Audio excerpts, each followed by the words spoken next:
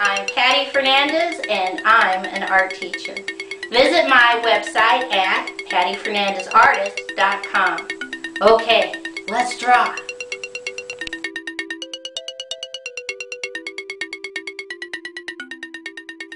Today's project is how to draw Francisco Pizarro. I take two fingers in the center, in the middle of my paper, and I put a dot. And from that dot going towards the left, I draw a curved line down and leave it floating.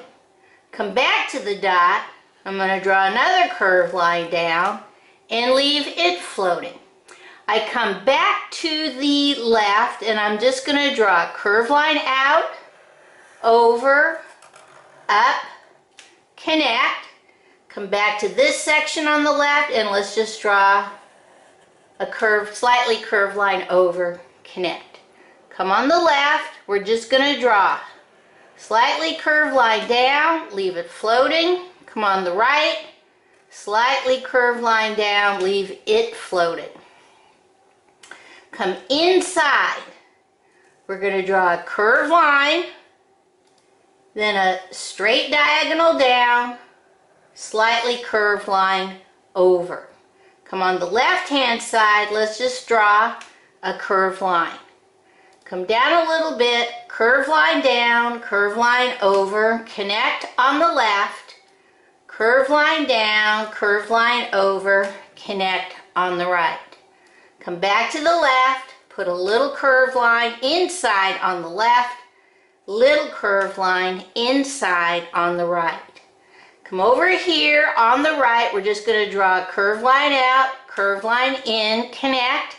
And on the left, we're just going to draw a little curved line out, in, connect.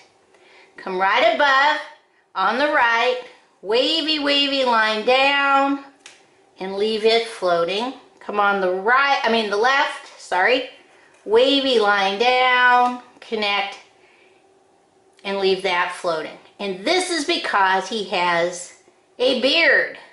So we're going to go curve line, curve line, curve line, curve line, curve line, curve line, up and connect.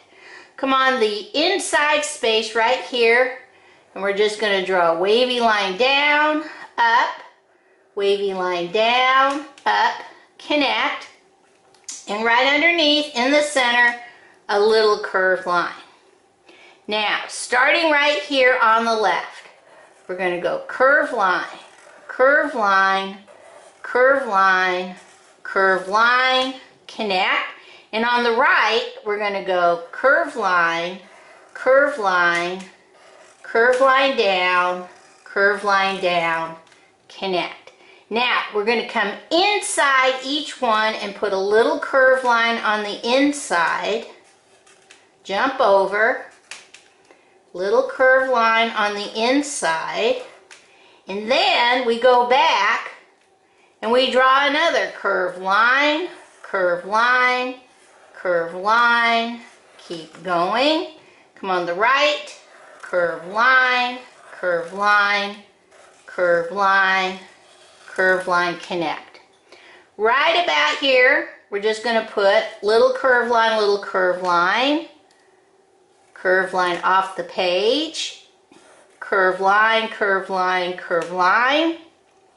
And right up here, we're just going to draw a big curve line down off the page. Come on the right hand side, we're going to draw another big curve line down off the page. Right about here, let's put a dot. We're going to draw a straight diagonal down, come back to the dot, straight diagonal down straight diagonal in, in, straight line, straight line. Come on the left, we're going to do straight line out on the left, straight line out on the right. Curve line up, in, curve line down, up on the left, curve line out, in, curve line down, up, in, straight line, straight line off the page, straight line, straight line off the page. Let me make sure, I think that's all. let's see how we're going to color this in. Okay, there's not a lot of color on uh, Francisco. So the first thing we're going to do is add some face color if you have it. If you don't have multicultural crayons for the face, you can just leave it white or you can add a little brown just to give it a little bit of color. But you kind of have to keep it going a little bit down because it runs into his beard, which is brown, this space. So you kind of want to blend it into each other because he's got this big, he's rocking a big beard and a big stash. And this space and this space is all brown. Now you can add a little bit of brown. What I did was I added a little bit of brown and brown right there on his eyes. Let's give his lip, this space, a little bit of color. And then he's got a lot of black. So the first thing I did was I put some black over the brown of his eyes and then this is all black. It looks to me like it's probably either a black fur or velvet hat.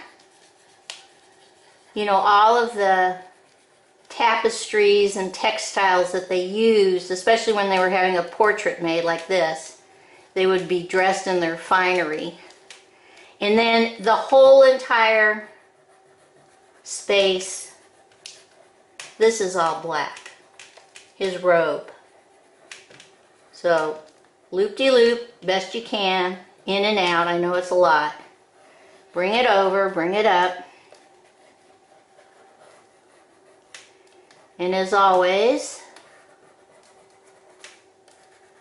if you have your multicultural crayons, I always forget something. This is his hand, this space. So this should be multicultural. And this should all be really dark black.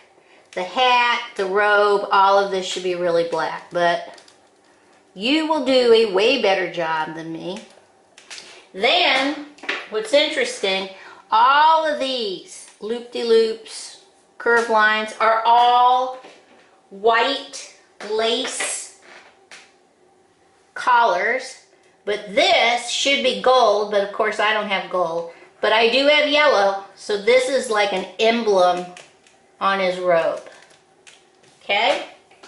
Then, if you have a big fat crayon, I just did a background of the color that I have. You could use any color really. This is like a brown. Okay? Alright, let's see what this looks like all colored in. Okay, this is Francisco Pizarro, the Spanish conquistador that led the expedition for Spain to South America and was in charge of the conquest of the Incas in Peru. Very important man. Okay, bye-bye.